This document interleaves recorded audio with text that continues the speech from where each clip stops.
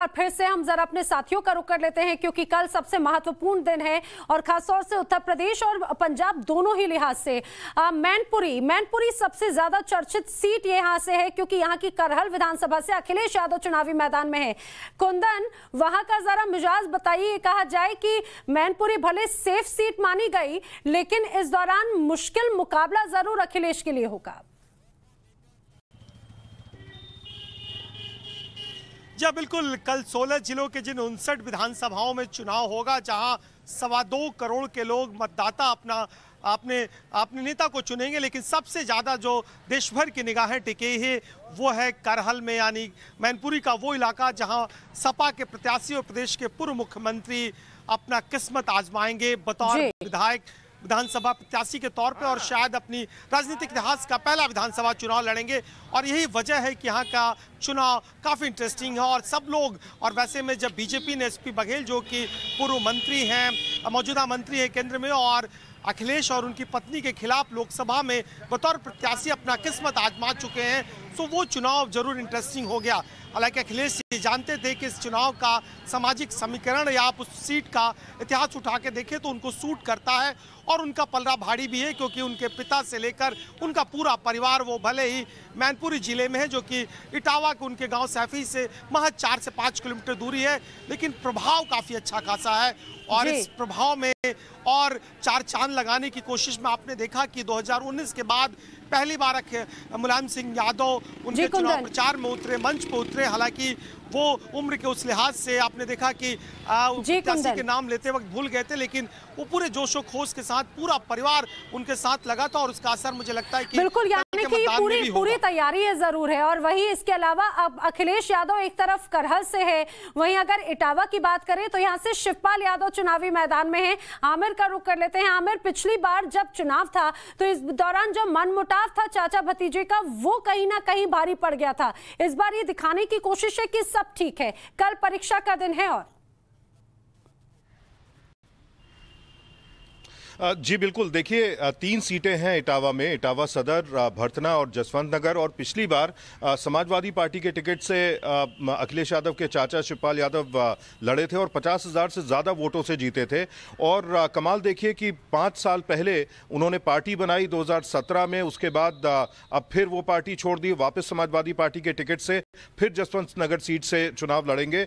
Bharatiya Janata party की लहर के चलते बाकी दोनों सीटें समाजवादी पार्टी ने गंवाई लेकिन इस बार जितनी बात हमारी समाजवादी पार्टी के नेताओं, कार्यकर्ताओं से हो रही है जोश से बेहद भरे हुए हैं, खासतौर से इसलिए कि पैतृक गाँव सैफई भी इटावा में ही आता है और वहाँ से चंद ही किलोमीटर दूर करहल का विधानसभा क्षेत्र लग जाता है मैनपुरी के अंदर।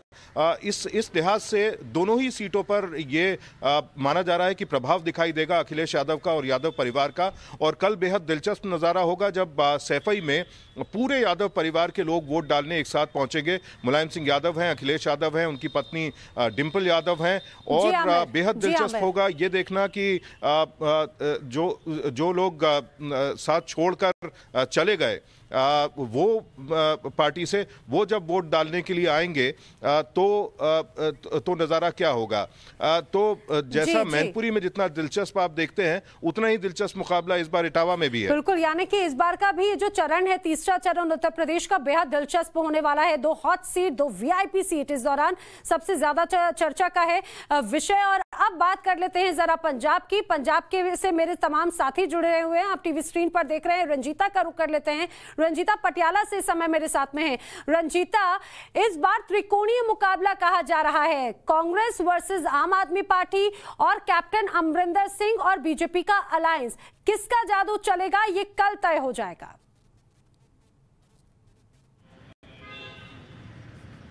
निश्चित तौर पर नैना पटियाला में खड़ी हूँ मैं और जिस गुरुद्वारे के बाहर मैं खड़ी हूँ, दुख निवारण गुरुद्वारा, कहा जाता है कि जो भी इस गुरुद्वारे में आता है, उसका दुख जो है वो खत्म हो जाता है और जो मांग वो लेकर आता है वो पूरी हो जाती है। पटियाला सीट कांग्रेस की सबसे मज़बूत ज़िले में अगर देखा जाए तो पटियाला जिला कहा जाता था क्योंकि वहाँ कांग्रेस को कैप्टन अमरिंदर सिंह का भी साथ मिलता था।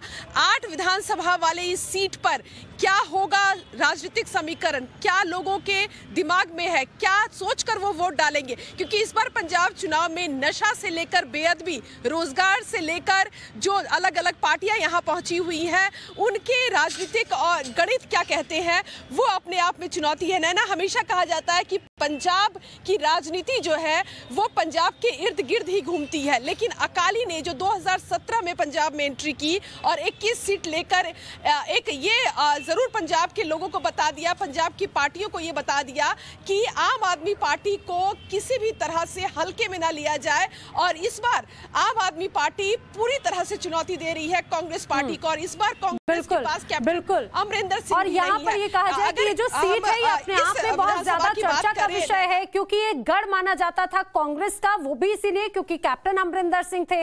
लेकिन अब कैप्टन अमरिंदर सिंह ने अपनी पार्टी बनाई है। अब वहाँ पर क्या प्रभाव नज़र आएगा, देखने वाली बात है। मोहाली से पुलकित मेरे साथ में है। पुलकित इस बार बहुत ही बड़ी तैयारी के साथ में आम आदमी पार्टी अपनी मौजूदगी दर्ज करवा चुकी है। आम आदमी पार्टी पूरी उम्मीद में है कि उसका जादू इस बार पंजाब में चलेगा। देखिए काउंटडाउन शुरू हो गया है। वोटिंग के लिए और 117 सीटों के लिए 1304 उम्मीदवार खड़े हुए हैं। इसमें अगर हम समझें तो पंजाब की राजनीति की शुरुआत या चुनावों की जो शुरुआत थी, वो स्कूल और अस्पतालों की पॉलिटिक्स से हुई थी और आम आदमी पार्टी चाहती थी कि पंजाब में स्कूल और अस्पतालों की पॉलिटिक्स के साथ ही चुनावी मुद्दे के साथ ही वो आगे बढ़े। लेकिन अगर हम कल तक की बात करें तो खालिस्तानी आतंकवादी और तमाम चीज़ें पाकिस्तान पाकिस्तान तक का नाम पंजाब की राजनीति में शामिल हो गया। अब कल देखना होगा कि जब लोग इस बूथ पर वोट डालने के लिए आएँगे तो वो किस मुद्दे के साथ आएँगे? क्या वो स्कूल कॉलेज की बात करेंगे? क्या वो खालिस्तान की बात करेंगे? क्या वो पंजाब में प्रधानमंत्री की सुरक्षा की बात करेंगे? जी, क्या जी. वो पंजाब की सुरक्षा की बात करेंगे? कौन कौन से मुद्दे होंगे? और इन 117 सीटों पर तमाम लोगों की नज़र होंगी क्योंकि यहाँ एक बहुत सारी सीटें ऐसी आती हैं जो हम्म। पूरे देश को भी कहीं ना कहीं प्रभावित करती है। जी। बिल्कुल और ये ये चुनाव अपने आप में सबसे ज़्यादा चर्चा का भी विषय रहा है। खासतौर से अगर कांग्रेस के लिए हम बात करें तो नवजोत सिंह सिद्धू के लिए। हिमांशु जहाँ पर मेरे साथी मौजूद हैं अमृतसर से हिमांशु, यहाँ पर नवजोत सिंह सिद्धू का प्रभाव माना जाता है, लेकिन इस बार कई बार नवजोत सिंह सिद्धू की वजह से भी बहुत उतार चढ़ाव रहा है और उनकी नाराज़गी भी कई बार देखी गई है। बिल्कुल ना देखिए, मैं अमृतसर में इस वक्त यहाँ पर मौजूद हूँ और अमृतसर को जब कहा जाता है तो वो सिखों का सबसे पवित्र शहर है और ये कहा जाता है ये शॉपिंग के लिए और यहाँ के लजीज व्यंजनों के लिए काफ़ी प्रसिद्ध है। तो मैं यहाँ पर आया तो यहाँ पर आने के बाद कुछ लोगों से मैंने बात की और उनसे मैंने पूछा कि यहाँ की सियासत में क्या पक रहा है। तो सबका यही कहना था कि यहाँ पर खिचड़ी पक रही है। मैंने चार पाँच लोगों से बात की, सब लोग यही कह रहे थे कि यहाँ पर खिचड़ी पक रही है। अब खिचड़ी इसीलिए कहा जा रहा है क्योंकि यहाँ पर ऐसा नहीं है कि कोई एक जना बहुत आगे बढ़ता हुआ नज़र आ रहा है, जैसे नवजोत सिंह सिद्धू हुए। यहाँ पर मुकाबला बेहद दिलचस्प है हम्म। क्योंकि एक तरफ़ नवजोत सिंह सिद्धू है जीतते आ रहे हैं यहाँ पर अमृतसर उनका गढ़ कहा जाता है। तो दूसरी तरफ़ विक्रम सिंह मजीठिया हैं जो मजीठा छोड़ के इस बार नवजोत सिंह सिद्धू को चेतावनी देने के लिए यहाँ पर पहुँचे हैं। हम्म। डॉक्टर जगमोहन राजू यहाँ पर बीजेपी की तरफ़ से हैं जो पूर्व आई अधिकारी हैं। हम्म। तो दूसरी तरफ़ जगजीवन कौर आम आदमी पार्टी की तरफ़ से यहाँ पर चुनावी मैदान में है।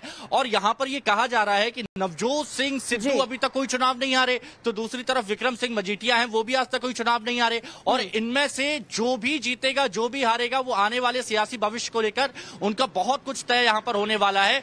एडी चोटी का ज़ोर यहाँ पर लगा दिया गया है और अमृतसर का मुकाबला सबसे ज़्यादा दिलचस्प है।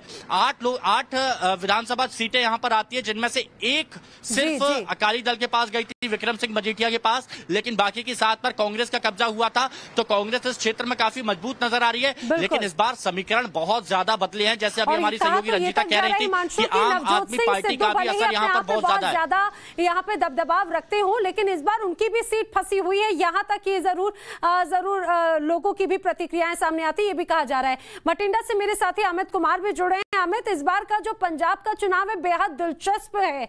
और कहा यह भी जा रहा है कि आखिर ऊँट किस करवट बैठेगा? लोगों के मन में क्या है, ये कुछ नहीं कहा जा सकता ये मुझे लगता है नैना कि बहुत ही ज़बरदस्त और दिलचस्प चुनाव होने वाला है उत्तर प्रदेश में, जहाँ आमने सामने सपा और बीजेपी है। तो यहाँ पर मुकाबला बहुत ही अजीब सा, अगर आप देखिए तो कैप्टन बीजेपी के साथ है जो कि पिछले चुनाव में खिलाफ में खड़े थे। अकाली इस बार बीजेपी के खिलाफ खड़े हैं, क्योंकि अकाली लास्ट चुनाव भी जो था, साथ में लड़े थे। इस बार अकाली के लिए बहुत ही मज़बूत और बहुत ही अगर आप कहें तो बड़ी चुनौती है, क्योंकि दस साल सत्ता में रहने के बाद इस बार उनके लिए अपना घर बचाने की बात हो रही है। बड़े प्रकाश सिंह बादल जो है, प्रकाश सिंह बादल जो बड़े बादल के नाम से जाने जाते हैं, वो चुनाव लड़ रहे हैं। चौरानवे साल की उम्र में उनको मैदान में उतरना पड़ रहा है, क्योंकि कहीं ना कहीं जो बीजेपी से अलग होने के बाद किसान आंदोलन जो पूरा जिस तरह से चला एक तरह से आप कह सकते हैं कि अपनी पूरी जो वोट बैंक है उसको बचाने की कवायद क्योंकि सिख वोट बैंक है एक तरह से वो बादल परिवार और अकाली दल का, का के पक्ष में माना जाता था। लेकिन इस चुनाव की अगर आप बात करें तो जिस तरह से बहुजन समाजवादी पार्टी के साथ चुनाव लड़ रहे हैं अकाली दल तो ये बहुत ही कड़ा मुकाबला होने वाला है और इनके लिए भी एक प्रतिष्ठा का सवाल है। इसीलिए सोचिए कि चौरानवे साल के प्रकाश सिंह बादल को मैदान में उतरना पड़ रहा है क्योंकि कहीं ना कहीं पूरे बादल परिवार की प्रतिष्ठा दाव पर है। तो ये चुनाव जो है, आप कह सकते हैं कि कल जो है बहुत ही महत्वपूर्ण दिन है। बेअदबी से लेकर प्रधानमंत्री की सुरक्षा में चूक से लेकर कई तरह की सिद्धू और कांग्रेस में चन्नी की लड़ाई से होते हुए ये चुनाव का जो मुद्दा है वो आतंकवाद तक पहुँच गया है। तो इसलिए मुझे लगता है कि इस पूरे चुनाव में अगर आप देखिए तो एक तरफ़ आम आदमी पार्टी कांग्रेस और अकाली दल और बीजेपी इस तरह से एक ज़बरदस्त सा एक, एक, एक मुकाबला होने जा रहा है और इसीलिए मुझे लगता है ये पहली बार हो रहा है कि पंजाब में चार एंगल से चुनाव हो रहा है चार बड़ी पार्टियाँ हैं चार बड़े ग्रुप टाइप में हैं कांग्रेस अकाली दल इसके अलावा बीजेपी भी एक कैप्टन के साथ। तो महत्वपूर्ण है कैप्टन के लिए प्रतिष्ठा है तो कई बड़े सीनियर नेताओं की प्रतिष्ठा दाव पर लगी है। और पंजाब का चुनाव इसलिए मुझे लगता है बहुत ही दिलचस्प होने वाला है और इसलिए जो खिचड़ी की बात हो रही है तो कि नतीजे में खिचड़ी की तरह सकती है इसमें बड़ी दो फैक्टर काम करेगा ये ज़रूर देखने वाली बात है। अमित मेरे साथ में रंजीता भी लगातार बनी हुई है। रंजीता हर तरह के फैक्टर्स को इसमें लाने की कोशिश की। डेरा फैक्टर की बात कही जा रही है कि उसका बहुत ज़्यादा दबाव माना जाता है। तमाम मुद्दे इस दौरान देखे गए चाहे बात भ्रष्टाचार हो आतंकवाद हो पीएम की सुरक्षा को लेकर हो और बेअदबी का मामला भी बहुत ज़्यादा चर्चा में रहा। ना? देखिए मैं वहीं से अपनी बात की शुरुआत करूँगी जहाँ हमारे सहयोगी अमित जी ने खत्म किया। अमित जी ने यह कहा कि इस बार जो चुनावी संग्राम है पंजाब का इसमें कई जो चेहरे हैं वो अलग अलग तरफ़ से दिख रहे हैं। जो कभी दोस्त था वो अब दुश्मन है। कैप्टन जो कांग्रेस को 2017 में सत्ता में लेकर आई आज वो कांग्रेस को सत्ता से बेदखल करने के लिए हम्म। हर ज़ोर आजमाइश कर रही है। मैं जिस सीट पर खड़ी हूँ नैना ये पटियाला शहर सीट है और कहा जाता है कि ये पटियाला पूरा शहर और यहाँ के आठ विधानसभा है। ये कांग्रेस का गढ़ रहा है और वो इसलिए क्योंकि कैप्टन अमरिंदर सिंह यहाँ से अगुवाई करते थे। चार बार यहाँ से एमएलए चुने गए हैं कैप्टन अमरिंदर सिंह और आपको याद होगा कि जब कैप्टन अमरिंदर सिंह ने कांग्रेस पार्टी से मुख्यमंत्री पद से इस्तीफा दिया था और कांग्रेस पार्टी छोड़ा था तो उन्होंने नवजोत सिंह सिद्धू को चुनौती दी थी कि वो जहाँ से चुनाव लड़ेंगे मैं वहाँ जाकर चुनाव लड़ूँगा और नवजोत सिंह सिद्धू को हराऊँगा। लेकिन बाद में वही कैप्टन अमरिंदर सिंह ये कहते नज़र आए कि मैं अपना गढ़ नहीं छोड़ूँगा पटियाला के लोगों को नहीं छोड़ूँगा और मैं पटियाला से चुनाव लड़ूँगा। पहले उनकी बेटी के भी चुनाव लड़ने की बात कही जा रही थी लेकिन बाद में कमान उन्होंने थामी। कैप्टन के लिए ये कहीं ना कहीं प्रतिष्ठा और वर्चस्व की लड़ाई है। उन्हें कांग्रेस पार्टी को सत्ता से दूर करना है इसीलिए बीजेपी और जी, की पार्टी दोनों ही पार्टियों से गठबंधन किया कैप्टन अमरिंदर सिंह ने। कांग्रेस के लिए मुश्किल इसलिए नैना हो जाएगी क्योंकि यहाँ कैप्टन का साथ कांग्रेस को नहीं मिल रहा है। और यहाँ की सिर्फ़ एक सीट जो है वो पिछली बार कांग्रेस लेकिन में नहीं कांग्रेस की तो मुश्किल बढ़ेंगे रंजीता लेकिन क्या अगर कैप्टन का साथ बीजेपी के साथ में है तो क्या वो फ़ायदा करेगा? ये वाला फैक्टर क्या काम आएगा? ये तो कल तय हो जाएगा। लेकिन पंजाब के साथ साथ उत्तर प्रदेश की सियासी गहमा गहमी भी जमकर देखने को मिली है। पंजाब के बाद अब उत्तर प्रदेश का जरा रुक कर लेती हूँ। वो भी उस सीट का जो सबसे ज़्यादा चर्चा का विषय है मैनपुरी की करहल सीट जहाँ से अखिलेश यादव चुनावी मैदान में है। आखिर वहाँ की जनता के मन में क्या है? वहाँ से जुड़ी हुई एक रिपोर्ट देखिए। किसी भी गाँव में आप जाइए मोस्टली वोट यहाँ डरा हुआ है। चार सौ रुपए का जूता दो सौ रुपए में? दो सौ रुपए में केवल। क्यों? अब मोदी जी जा रहा है इसलिए हमने सस्ता कर दिया अब सस्ता ही आने वाली है। आप तो समाजवादी वाले हैं। बिल्कुल भैया ये साइकिल लेके। ये सुरक्षा कवच है भैया। सुरक्षा कवच है? बीजेपी कह रहे हैं गुंडाई कवच है अरे बे, बे तो गुंडे हैं तब तो ये सुरक्षा कवच लिए हम लोग। मुलायम सिंह यादव जब अपने राजनीतिक जीवन की शुरुआत कर रहे थे तो उनके राजनीतिक जीवन की शुरुआत करहल से हुई। मेरे पीछे जो आप वो स्कूल देख रहे हैं, जैन इंटर कॉलेज, यहीं से वो विद्यार्थी भी थे, यहीं पर शिक्षक बने और यहीं से उनका राजनीतिक जीवन शुरू हुआ। अखिलेश यादव ने जब इस बार तय किया कि वो चुनाव लड़ेंगे तो अब मुलायम सिंह यादव की, नेताजी की राजनीतिक विरासत जो उनको मिली है, उसका जो गढ़ है, करहल उसी को अखिलेश यादव ने चुना आगे बढ़ाने के लिए। आज हम मैनपुरी के करहल में हैं। इस विधानसभा सीट से समझते हैं कि क्यों ये इलाका समाजवादी पार्टी का मुलायम सिंह यादव परिवार का गढ़ कहा जाता है।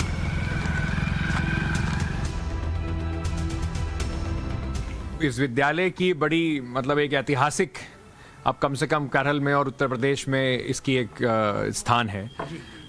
अखिलेश यादव चुनाव लड़ रहे हैं यहाँ से।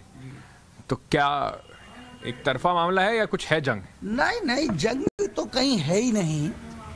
थोड़ा बहुत हाँ लग चुकी है? शेष लोगों जंग लग चुकी है। उनके ऑपोजिशन को कह रहे हैं आप?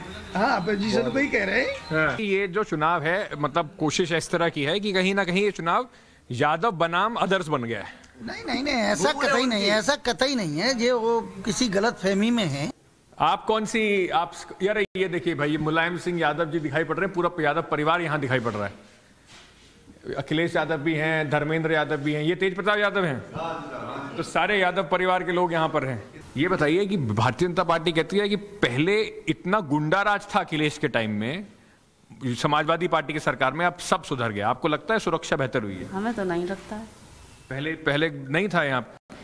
नहीं लगता ऐसा अगर सुरक्षा हो गई है महिला की क्या? पहले होती थी? नहीं होती थी पहले। तो जो एक घर का लड़का वाला फैक्टर है कि ये तो हमारे घर का लड़का ही है उसको कहीं ना कहीं बहुत ही एक स्ट्रॉन्ग मैसेज भी है लोगों के बीच में। थोड़ा सा बाहर चलते हैं और समझते हैं लोगों से कि करहल की जनता इस स्कूल के अलावा भी कुछ सोच रही है या जैसा यहाँ पे स्कूल सोच रहा है वैसा ही करहल की जनता भी सोच रही है। आप भारतीय जनता पार्टी से हैं। जी। मैं अभी जहाँ लोगों से बात कर रहा था कह रहे हैं एक तरफा चुनाव है। अब ये समझ का फेर है। किसी भी गाँव में आप जाइए किसी भी गाँव में। किसी भी गाँव में आप जाइए मोस्टली वोट यहाँ डरा हुआ है। वो समाजवादी का झंडा लिए जा रहे हैं भाई साहब। नहीं वो ठीक बात है करहल में झंडा नहीं लेके घूमेंगे तो कहाँ घूमेंगे? करहल में झंडा तो। अब जी कौन जीत रहा है? अखिलेश। साइकिल लिए जा रहे हैं कहाँ? आप कहाँ जा रहे हैं साइकिल लेके? बजा रही है बजा रहे हाँ। क्या पढ़ रहे हैं? खबर? क्या खबर है? खबर क्या है? ये देख रहे दूसरे चरण का। दूसरे चरण वाला। कैसा रहा दूसरे चरण का? शांतिपुर रहा बढ़िया हुआ। किसकी बन रही है? अभी तो पब्लिक डिसाइड कर रही है किसकी बन रही है हम क्या डिसाइड करते हैं। आप किसकी डिसाइड कर रहे हैं? हम लोग। साथ कर रहे हैं अखिलेश यादव की। आप भी। समाजवादी टोपी पहन के आप सब्ज़ी बेच रहे हैं। जो समाजवादी वोटर है उन्हें डिस्काउंट भी मिलता है क्या? देते हो? देते हैं। कितना डिस्काउंट देते हो? धनिया फ्री धनिया फ्री धनिया फ्री क्या भाव दे रहे हो? क्या चीज़? बोल बोल बोल बोल बोल बोल। टमाटर दस रुपए किलो। कितने? दस। और अगर समाजवादी पार्टी का वोटर हो तो उसको डिस्काउंट कितना मिलेगा? धनिया फ्री धनिया फ्री धनिया फ्री। फ्री दे धनिया फ्री दे रहे क्या कहना चाहते हैं भाई साहब? भैया कुछ नहीं कहना चाहते। अरे वो कह रहे हैं कहना चाहते हैं। नहीं हम कुछ नहीं अब दोनों आप पहले तय कर लीजिए कहना चाहते हैं नहीं जाना चाहते? हमने कहना चाहे तो हमने समाजवादी पार्टी के आदमी है भाई। आप कहना चाहते हैं वो कहना चाहते वो, हैं? वो भी कहेंगे ना। वो भी कहेंगे कहे। वो भैया उनका तो कर्ज है मेरे ऊपर इसलिए वो हमारी हमारे हमारे लिए है वो।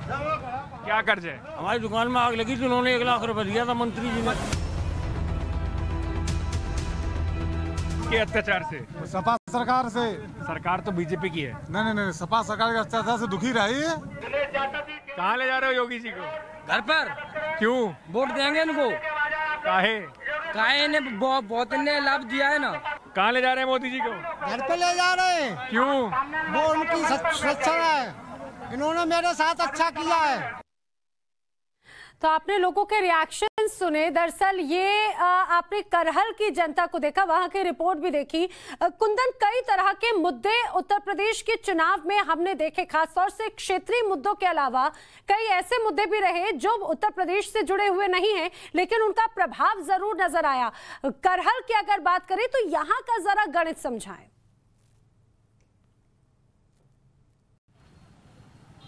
देखिए, यहाँ का गणित बिल्कुल साफ़ है। बीते 2090 1990 से लगातार ये सीट सपा के पास है।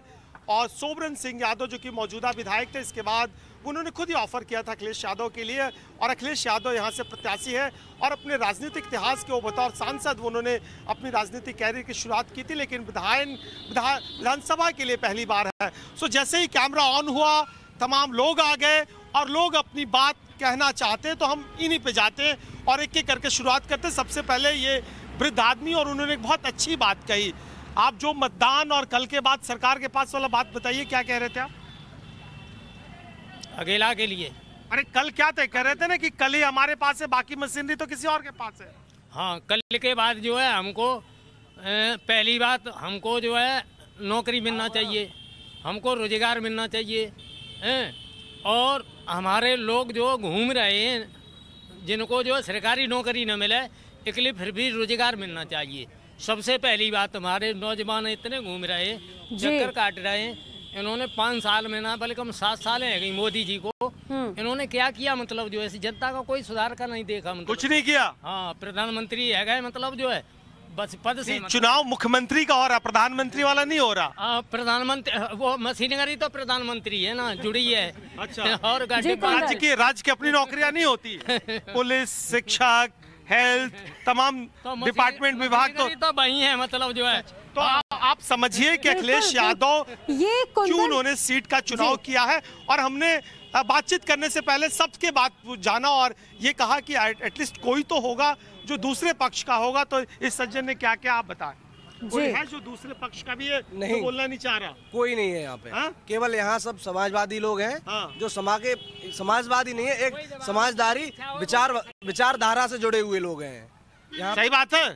सही बात है। तो मतलब बीते योगी बाबा ने कुछ काम किया ऐसा कि कुछ भी नहीं किया? कुछ भी नहीं किया। हाँ? कुछ भी नहीं किया। बिजली ठीक किया? बिजली तो पहले ही चल रही थी भाई। हाँ यहाँ तो पहले ही ठीक थी। हाँ। सो नैना आप लोगों का मूड समझ लीजिए और आप अंदाज़ा लगा लीजिए। हालाँकि कम डाउन की शुरुआत तो 10 तारीख को होगी और वो 10 तारीख की बड़ी कम डाउन होगी। क्योंकि अगर अखिलेश यादव यहाँ से जीतते हैं और उनकी पार्टी अगर पूरे प्रदेश में अच्छा करती है तो मुख्यमंत्री होंगे।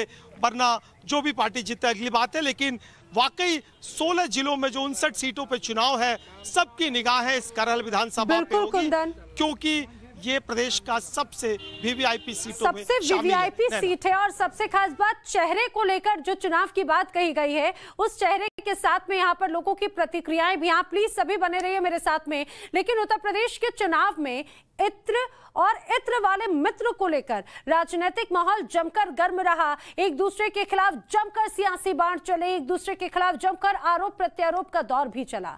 हमने कन्नौज में लोगों से बात की। अगर वो वोट करेंगे तो किन मुद्दों पर करेंगे, ये हमने जानने की कोशिश की। क्या इत्र व्यापारी पर छापेमारी लोगों के लिए कोई मुद्दा है भी या नहीं, उस पर देखिए एक रिपोर्ट।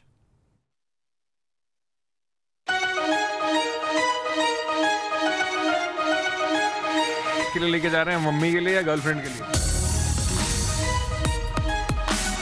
खट्टा क्या होता है? चीनी से बनता देसी घी से आज लोग कह रहे हैं कि सब बीजेपी बोलने वाले मिलेंगे क्योंकि बाकी सब तो अखिलेश भैया की रैली में चलेंगे कमल जीतेगा पचास हज़ार से। आठ हज़ार से अगर लीड बने तो बात करना। साइकिल। साइकिल।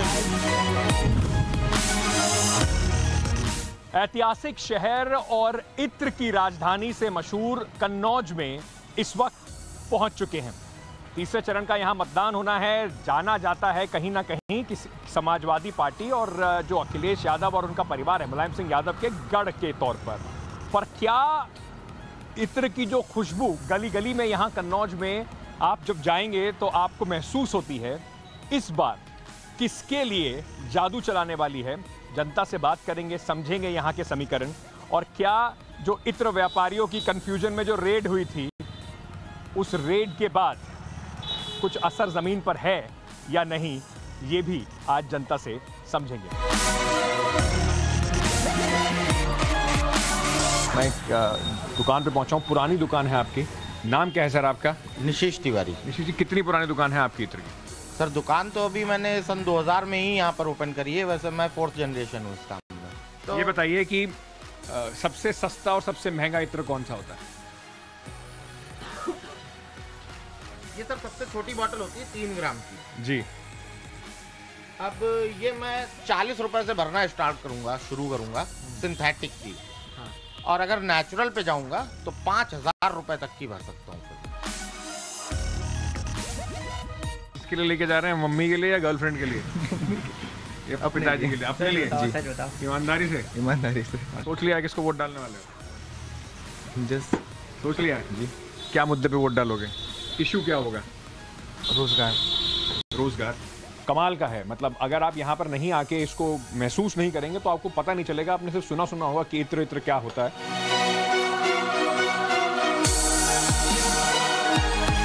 इतिहास और इत्र की जो नगरी है कन्नौज उसमें एक और चीज़ बड़ी प्रसिद्ध है। और वो प्रसिद्ध चीज़ है वो जो आप बोर्ड देख रहे हैं मेरे पीछे ये बोर्ड देखिए। कलावती गट्टा भंडार। अब गट्टा क्या होता है? कहा यह जाता है कि पत्थर जैसा गट्टा होता है मुँह में रखते ही बिल्कुल पानी की तरह मतलब बिल्कुल घुल जाता है। तो आपको थोड़ा गट्टा ही बता देते हैं क्या है। गट्टा खा के देखा जाए। गट्टा खाइए। मैंने ऐसी चीज़ खाई नहीं है कभी कभी बहुत ही अलग है। 1923 में। 1923 में सबसे पहले इन्हीं के नाम से बना था और इन्होंने ही लॉन्चिंग की थी इस चीज़ की। ये देख रहे हैं आप इनकी ये चौथी तो कन्नौज में आपने वहाँ की स्थिति देखी। है बात अगर इत्र की हो रही है तो हमने इत्र के कारोबारियों और कन्नौज के मूड की एक झलक भी जानने की कोशिश की, वहाँ के लोगों से समझने की भी कोशिश की, इत्र बनाने वालों से भी बातचीत की। एक रिपोर्ट देखिए।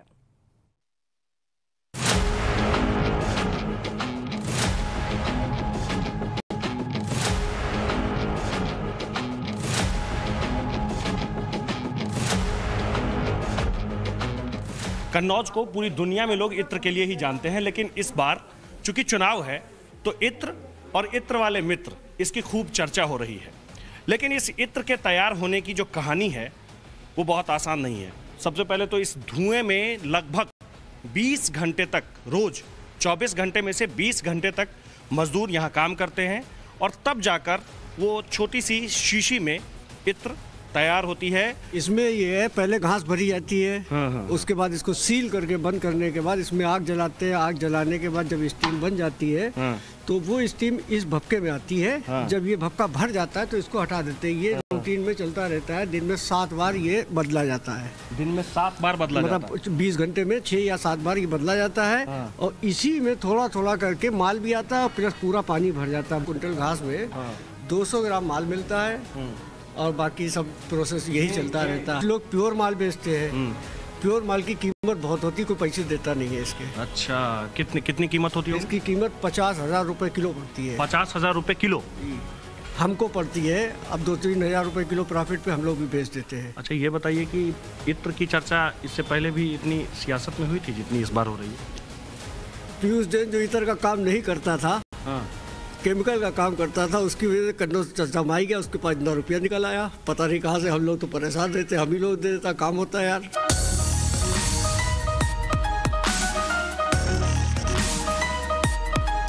आप रैली वैली में जाने के लिए तैयार हुए हैं क्या? नहीं साहब चुनाव का समय है, रैलियाँ चल रही ना? नहीं साहब चुनाव बिल्कुल में नहीं कुर्ता रहे। हैं। पजामा। हम ऐसे ही रहते हैं साहब ऐसे ही रहते हैं? ट्रेडमार्क हमारा यही है। क्या है कन्नौज में इस बार? क्या चल रहा है? कन्नौज का यही खस चल रही क्या चल रहा है। खस। और का खस को काम हुई साहब बताओ भाई। जी भाजपा इस टाइम ज़्यादा मज़बूत चल वोटर हो। कि नहीं पहले ये बताओ। क्या? वोटर हो कि नहीं? नो नो बताओ वोटर है नहीं बता रहा है कि बीजेपी वाले। चुनाव में तो योगी निकलेगा यहाँ से। चुनाव में योगी निकलेगा? बिल्कुल। ठीक है वोटर कहाँ के कहाँ के वोटर हो? यही के कन्नौज के। कन्नौज के? आप बहुत मुस्कुरा रहे हैं मैं तब से देख रहा हूँ आप मुस्कुरा रहे हैं। क्या चल रहा है? काय का? चुनाव। चुनाव का भाई अल्लाह जाने क्या चल रहा है। आप वोटर कहाँ के हैं? यहीं के? तो यहीं के क्या लग रहा है? अब हमको भी यही लग रहा है भाई भाजपा का। हाँ, हाँ। क्या नाम है आपका? साजिद। साजिद आपको भी लग रहा है बीजेपी वाले बाजी मार ले जाएँगे? जी जी पक्का। और आइए अब सीधे रुक करते हैं लखनऊ का जहाँ